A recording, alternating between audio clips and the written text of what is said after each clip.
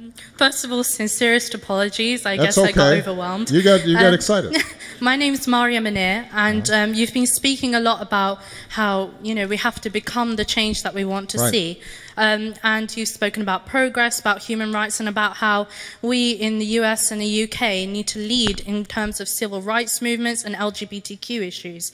Now, I'm about to do something terrifying, which is I'm coming out to you as a, a non binary person, which means that I don't fit within. I'm getting emotional, I'm so sorry. It's okay. Um,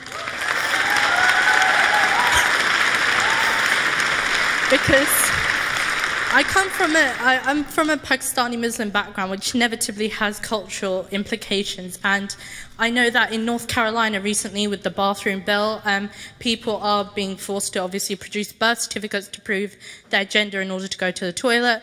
In the UK, we don't recognise uh, non-binary people under the Equality Act, so we literally have no rights. So if there was any discrimination, there's nothing we can do. I've been working for the last nine months with the UK Civil Service Fast Stream with Gillian Smith in order to do what I can, even though I'm still at university and running for local election at the same time in Watford, um, I've managed to get them to respect pronouns, I've managed to get them to um, commit to gender neutral toilets, and these are things I've done as a student, and I really, really wish that yourself and David Cameron would take us seriously as transgender people and um, perhaps you could elucidate as to what you can do to go beyond what has been accepted as the LGBTQ rights movement, in, in including people who fit outside the social norms. Well, look, I, I think that. Uh,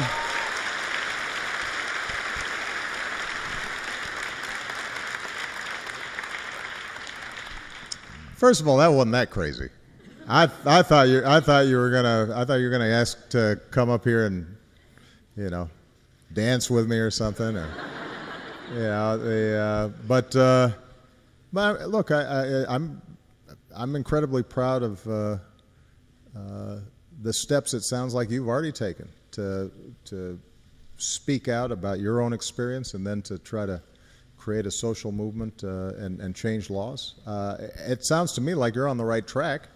Uh, I can't speak for David Cameron, although I, I, I will say that on LGBT issues, I think David's been ahead of the, the curve uh, relative to uh, a, a lot of other leaders uh, around the world and, and even here in the UK.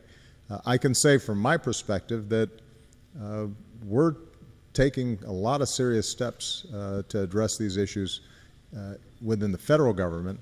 The challenge we've had is North Carolina, the law that comes up, for example, uh, that's a state law.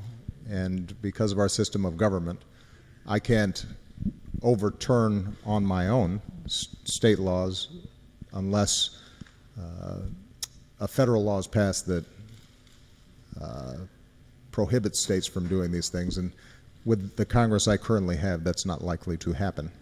Um, but we're doing a lot of work administratively. And as I said, you should feel encouraged just by virtue of the fact that I, I think social attitudes on this issue have changed faster than I've, I've seen on any other issue. Um, it, it, won't, it doesn't feel fast enough for you uh, or for those who are impacted, and that's good. You shouldn't feel satisfied. Uh, you should keep pushing. Um, but I think the trend lines are good on this. Uh, we're, we're moving in the right direction, and in part because of uh, courageous and uh, active young people like yourself. So stick with it. All right. Uh, let's see. Gentleman in the green here.